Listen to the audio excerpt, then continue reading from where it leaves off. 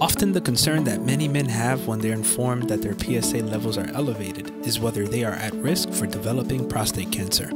While prostate cancer will, of course, increase the levels of PSA in your bloodstream, this increase isn't always an indication of prostate cancer.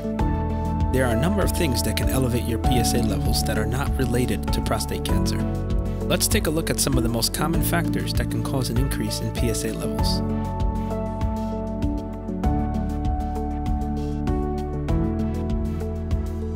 Prostatitis is the inflammation of the prostate gland due to a bacterial infection. The condition is treated with antibiotics and affects mostly males below the age of 50.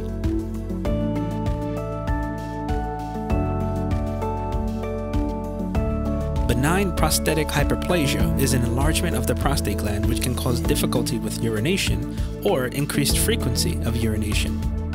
The condition itself is non cancerous and primarily affects men over the age of 50.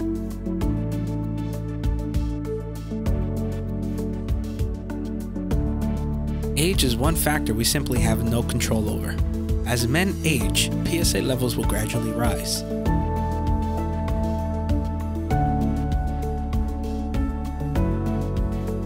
Ejaculation during sexual intercourse can slightly raise PSA levels. They will generally return to normal within 48 hours. This slight increase, however, isn't enough to make a significant difference unless your PSA level is borderline above normal.